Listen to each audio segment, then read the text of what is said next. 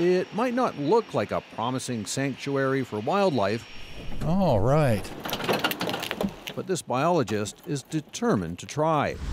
I mean, this is probably uh, getting close to a million, maybe a million and a half eggs if you actually went through and counted them all. Doug Swanston is part of a group working to create a home for herring, transplanting millions of eggs to a site where the fish once spawned. Historically, we had a spawn here in the 1800s. It was a source of food for First Nations communities. The fleets of the fishing companies compete for a share of the catch. Herring was once seen as a nearly limitless resource until overfishing crashed the stocks in the 1960s. 2160.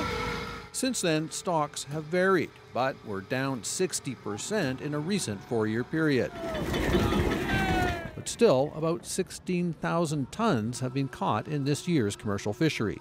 DFO decided not to li- listen to their own scientists or Indigenous communities and environmental groups have gone to court trying to halt the commercial catch. So, so this site in particular was a village site at one point? It was our summer village site, one of them.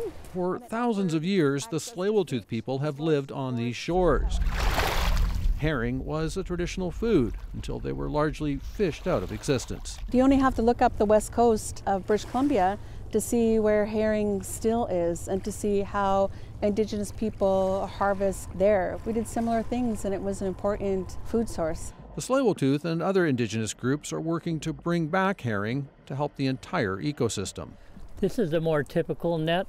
Vancouver's False Creek is the source of the eggs for the new transplant experiment. Years ago, artificial herring spawning habitat was created by a small group of volunteers hoping to help endangered salmon. The first thing a salmon looks for when it comes out of the river is food.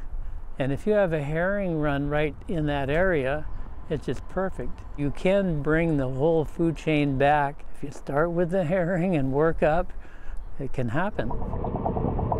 Biologists say there are many reasons why fish stocks in Canada's Pacific Ocean are in serious trouble. You can see it's quite well covered with eggs. But rather than simply watch, some are trying to help. One tiny egg at a time. Greg Rasmussen, CBC News, Vancouver.